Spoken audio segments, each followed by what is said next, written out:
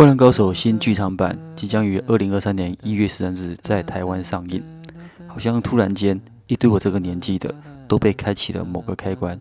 虽然我一直都属于漫画派，一堆的想当年慢慢的出现，从不知道怎么打篮球，慢慢跟着樱木学绕球、小人物上篮、篮下投篮、外线跳投。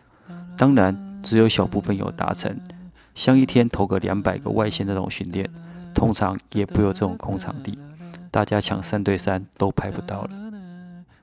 《灌篮高手》连载于一九九零年至一九九六年，那一部打对头的叫《灌篮少年》。嗯，只能说那时我不太喜欢少女系的画风。这段岁月正好是我国中至大学的年段啊，透露自己的年纪了。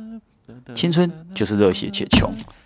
这段期间也迎来了台湾第一波正式授权的年代。当然，智慧是要钱的。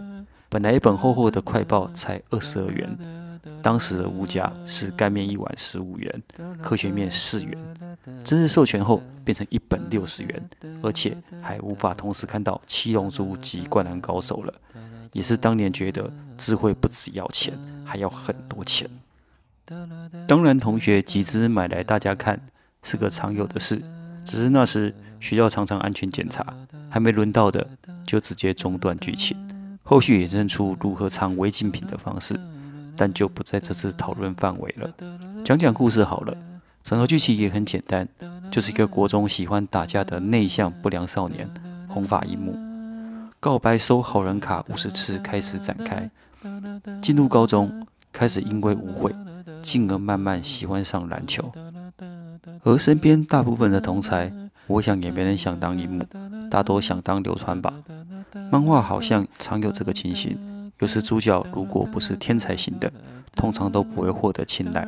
就像现流行的《咒术回战》，我想大部分的也都想当五条悟吧。那时也没那么多漫画的解说，所以只会觉得好好看，并不知道原来这个叫分镜及速度感。后续知道分镜的重要，是我接触了美漫后，美漫的分镜真的很中规中矩。就像在看一张张很漂亮的相片，但没有感觉。故事也是很主流的对抗。从现在开始，相对有翔阳、林南、海南大附属。不知是不是巧合，接触这部漫画，篮球的爱好及知识也会逐渐增加。因此也慢慢的觉得，咦，这个队伍好像 NBA 的某队，诶，这个角色好像 NBA 的某人，甚至于有些画面都曾在球员卡。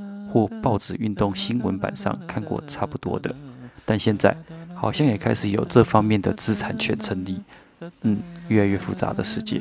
当时有一个都市传说，那就是一直有个谣传，作者在连载中以车祸去世。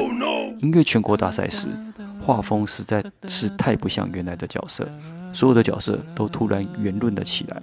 等又恢复原来的画风，又被传是因为代画者。总算学会了作者的风格，但最后为啥会这样改变画风？我依稀记得，好像是井上老师的右手脱臼，当时是用左手连载的。嗯，大师左手都画的比普通人好呀。当然也有被漫画骗了的地方，那就是一百八十七公分的身高，其实要像流川那样做出很多像 Jordan 的动作是困难的，尤其是亚洲人。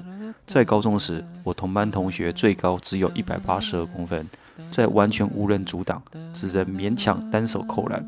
当然，那是为了练弹性，很多人也会像练轻功一样，小腿绑铅条、沙袋，也是当时一个奇怪的流行。身为玩具人，突然想到，怎么这么火红的漫画都没有相关可动公仔？同期的七龙珠、圣斗士都出两轮以上了，仔细再翻一下。其实运动类的玩具还真的挺少的，有印象的好像也只有排球少年的连土人有出一堆，其余像影子篮球员、第一神拳，甚至连造成足球流行的大公益也并没有出可动玩具啊。嗯，就看这次会不会突然有希望入手，万代、月日西、随意肌肉，就看你们的啦。最后，青菜萝卜各有所好，子木漫画中我最喜欢的应该就是仙道章了。高超的球技配上散漫的个性，我一直认为这种人生很惬意。那你们心目中最喜欢的又是哪位呢？下次见，拜。